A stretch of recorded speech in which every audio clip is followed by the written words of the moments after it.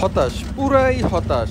আসসালামু আলাইকুম everyone this is Bulbul Ahmed from today's blog and আজকের ব্লগে যেটা হচ্ছে যে আমি ভাবছিলাম যে পানি দেখাবো আমার মার্সিডিস বেঞ্জে করে। মার্সিডিস বেঞ্জে চড়ে বসলাম যে সামনের সিটে বসে যাব আজকে।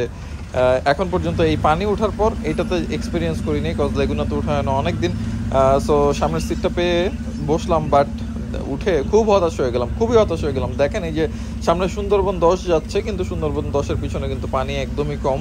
সো এত কম পানিতে আসলে আমাদের ভালোই লাগে না কজ আমরা আসলে কক্সবাজারের ফিলটা অলওয়েজ চাই। আমরা চাই আমাদের যারা এখানে দায়িত্বরত কর্মকর্তারা আছেন, তারা যেন এখানে সেচ কাজের মাধ্যমে পানি আর একটু বাড়িয়ে দেওয়ার একটা পরিকল্পনা গ্রহণ করে, কারণ কম পানিতে আমাদের ভালোই লাগে না।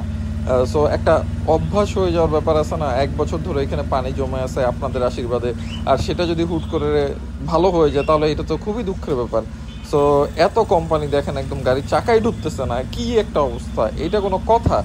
এইটার জন্য পুরাপুরি হতাশ হয়ে গেলাম, পুরাপুরি হতাশ। তো বাকি যারা আছেন, এইদিকে এই রোডে চলাচল করেন। আজকে আপনারা কতটা হতাশ হয়েছেন, এইটা কমেন্টস করতে ভুলবেন না।